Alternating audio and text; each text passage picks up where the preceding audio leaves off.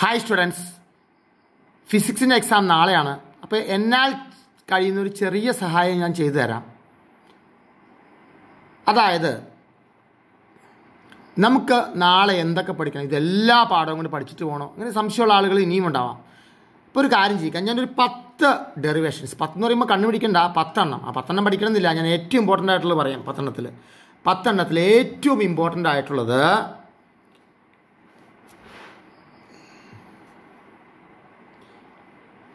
Bohr theory of hydrogen atom Bohr theory of hydrogen atom വളരെ important ആണ്. Bohr theory of hydrogen atom ഇത് ഭയങ്കര important ആണ്.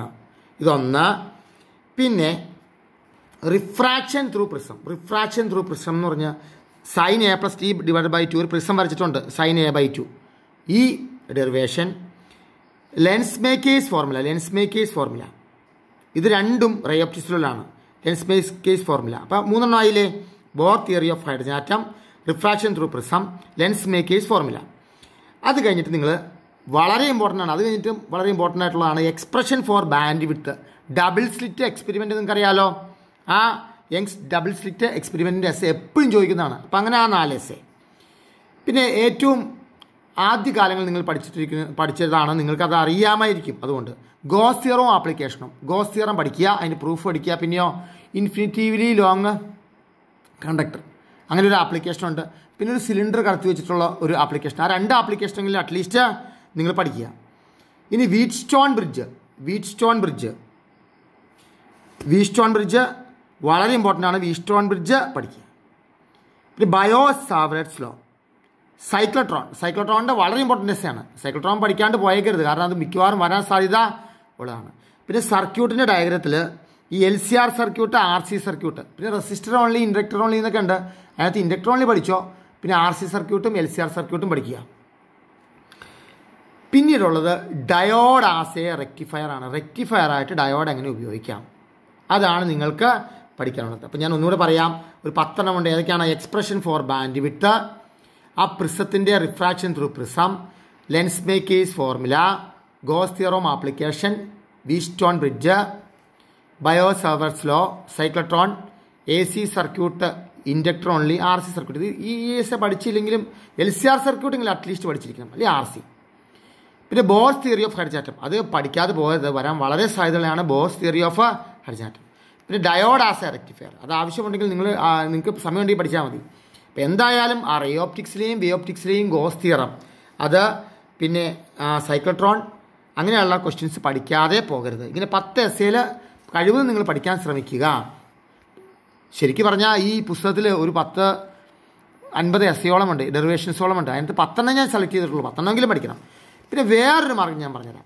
നിങ്ങൾക്ക് ജയിക്കണം ഒരു അൻപത് ശതമാനം മാർക്ക് മേടിക്കണം. അതിന് പല പാഠങ്ങളിൽ ഇമ്പോർട്ടന്റ് സെലക്ട് ചെയ്താൽ ചിലപ്പോൾ ഒരു ഇമ്പോർട്ടന്റ് പോലും വന്നില്ല എന്നിരിക്കും. അപ്പോൾ നമ്മൾ വേറെ ഈ എസ് എ പഠിച്ച ശേഷം നിങ്ങൾ വേറൊരു കാര്യം കൂടി ചെയ്യുക ഈ എസ് എയിൽ പലതും നിങ്ങൾ ഡെറിവേഷൻസ് പഠിച്ചായിരിക്കും. അതുകൊണ്ട് നിങ്ങൾക്ക് എളുപ്പമുണ്ടാവും. ചിലപ്പോൾ ഒന്നോ രണ്ടെണ്ണോ പഠിക്കേണ്ടി വരുള്ളൂ. ബാക്കി പഠിച്ചതായിരിക്കും. ഞാൻ പറയുന്ന പാഠങ്ങൾ തീർത്ത് പഠിച്ചു പോവുക. മെയിൻ പോയിന്റ്സെങ്കിലും പഠിച്ചു പോവുക. ഏതൊക്കെയാണെന്ന് electric charges and fields electric charges and ഫീൽഡ്സിൽ നിങ്ങൾക്കറിയാം. ഈ കൂളംസിന്റെ ലോയാണ് പിന്നെ അതിനകത്ത് പ്രോബ്ലം ചിലപ്പോൾ ചോദിക്കാറുണ്ട്. രണ്ട് ചാർജ് വെച്ചിട്ട് അവ തമ്മിലുള്ള ഫോഴ്സ് കാണാനുള്ള പ്രോബ്ലം ചോദിക്കാൻ സാധ്യതയുണ്ട്. അപ്പോൾ ആ പ്രോബ്ലം ഒന്ന് നോക്കുക. പിന്നെ ഒരു പോയിന്റ് ഒരു പോയിന്റ് ചാർജ് വെച്ചിട്ട് അതിന് അല്പം അകലെ ഓ എന്ന് പറയുന്ന പോയിന്റ് ആ പോയിന്റിലുള്ള ഇലക്ട്രിക് ഫീൽഡ് കാണാനുള്ളത്. ഒരു ഡൈപ്പോൾ വെച്ചിട്ട് ഇലക്ട്രിക് ഫീൽഡ് കാണാനുള്ളത്. ഡൈപ്പോളിന്റെ ഇക്വിറ്റോറിയൽ ലൈനിലുള്ള ഇലക്ട്രിക് ഫീൽഡ് കാണാനുള്ളത്. ഇങ്ങനെയുള്ള കാര്യങ്ങളൊക്കെയാണ് അതിനകത്തുള്ളത്. അത് പഠിക്കുക. പിന്നെ ഈ ഫ്രിക്ഷൻ കൊണ്ട് ചാർജ് ഉണ്ടാകുന്നു അപ്പോൾ എങ്ങനെയാണ് ഒരു ബോഡിയും ഫുള്ളായിട്ട് പോസിറ്റീവ്ലി ചാർജ് ഉണ്ടാക്കുന്നത്? അങ്ങനെയുള്ള കാര്യങ്ങൾ ജസ്റ്റ് പഠിക്കുക. അടുത്ത ഇലക്ട്രോസ്റ്റാറ്റിക് പൊട്ടൻഷ്യൽ ആൻഡ് കപ്പാസിറ്റൻസ് ആണ്. അതിനകത്ത് കപ്പാസിറ്ററിന്റെ തിയറി കപ്പാസിറ്റർ പാരൽപ്ലേറ്റ് കണ്ടൻസറിന്റെ തിയറി പിന്നെ ചാർജ് അത് ചാർജ് എങ്ങനെ സ്റ്റോർ ചെയ്ത് വെക്കുന്നു എന്നുള്ള ആ ഡെറിവേഷൻസും ജസ്റ്റ് പഠിക്കുക. അപ്പോൾ അതിനകത്തുള്ള ക്വസ്റ്റ്യൻ ചിലപ്പോൾ അതിനകത്ത് പ്രോബ്ലം ഒന്ന് ചോദിക്കാൻ സാധ്യതയുണ്ട്. ഒന്ന് ജസ്റ്റ് നോക്കുക. പിന്നെ കപ്പാസിറ്റൻ സീരീസ് കപ്പാസിറ്റൻ പാരൽ അങ്ങനെയുള്ള പോയിൻസൊക്കെയാണ് ആ പാഠത്തിലുള്ളത്. അത് പഠിക്കുക. പിന്നെ റേ ഓപ്റ്റിക്സും ബി ഓപ്റ്റിക്സും കഴിവതും അതിന്റെ പ്രോബ്ലം കൂടി ചെയ്തൊന്ന് പഠിക്കുക. അപ്പോൾ നാല് പാഠമായി. പിന്നെ ആറ്റംസ് ആൻഡ് ന്യൂക്ലിയ എന്ന് പറയുന്ന പാഠം കൂടി പഠിച്ചേക്കുക. ആറ്റംസ് ആൻഡ് ന്യൂക്ലിയയിൽ അതിനകത്ത് ഞാനൊരു എസ് എ പറഞ്ഞിട്ടുണ്ട്. അതിനകത്ത് ചെറിയ കാര്യങ്ങളൊക്കെ ഒന്ന് ജസ്റ്റ് പഠിച്ചേക്കുക ഇത്രയും കാര്യങ്ങൾ പഠിച്ചേക്കുക പിന്നെ എക്സ്ട്രാ ഞാൻ ഒരു കുറച്ച് കാര്യം കൂടി വേണം പറയാം. ഇത്രയും ഈ നാല് പാഠം ശരിക്കും പഠിച്ച ഈ അഞ്ച് പാഠം ശരിക്കും പഠിച്ച് ആ എസ് എയും പഠിച്ച് എന്താണ് നിങ്ങൾ ജയിക്കാനുള്ള മാർക്ക് കിട്ടും? പിന്നെ സമയമുണ്ടെങ്കിൽ ആ സനാഡയോടെ ഒന്ന് ജസ്റ്റ് നോക്കുക. ആ ലോജിക് ഗേറ്റുകളൊന്ന് നോക്കുക. ലോജിക് ഗേറ്റുകൾ ഏതെന്ന് പറഞ്ഞാൽ വരാൻ സാധ്യതയുണ്ട്. സെനാഡയോടെ ഒന്ന് നോക്കുക. ലോജിക് ഗേറ്റുകളൊന്ന് നോക്കുക. പിന്നെ വാട്ടർലെസ് കറണ്ട് എന്ന് പറഞ്ഞാൽ എന്താണ്? ചെറിയ ക്വസ്റ്റ്യനാണ് ഞാൻ പറയുന്നത്. ഡ്രിഫ്റ്റ് വെലോസിറ്റി എന്ന് പറഞ്ഞാൽ എന്താണ്?